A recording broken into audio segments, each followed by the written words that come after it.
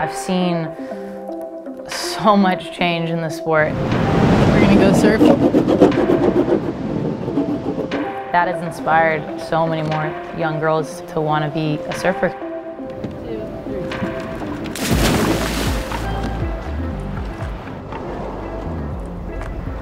I used to be the only girl out when I was young, and now it's like almost more young girls than guys out there, which is so cool.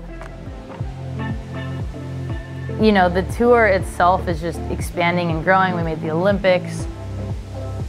There's just been so much positive change for surfing the last sort of five to eight years, really.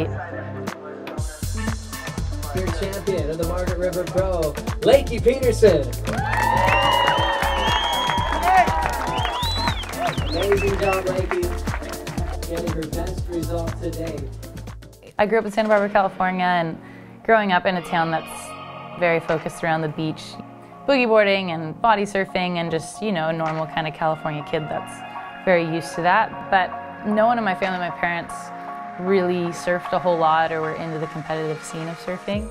So I didn't really fully pick it up uh, and dive into it until I was around 11, a little bit later.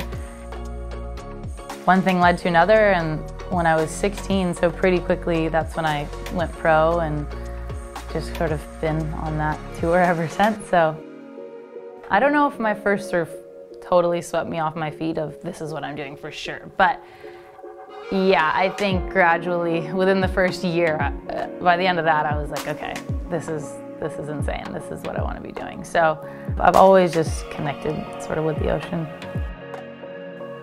Surfing, I've always found is such a full body experience because you're paddling, so there's your arms and shoulders and kind of back muscles.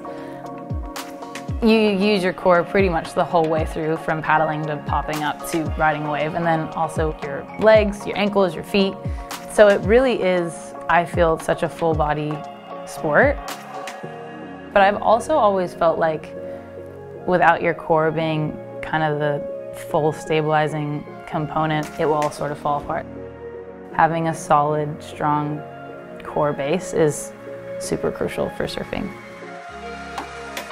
The ESPN body issue has always been something, since I was younger, that I thought, if I get asked to do that, I'll, that's the one thing I'll do that might be outside of my comfort zone, because I've always felt it's a really great opportunity to show younger girls and just women in general that your body is beautiful, you know, no matter what it looks like, and you don't need to be ashamed of it, and it can be used in very strong and powerful ways.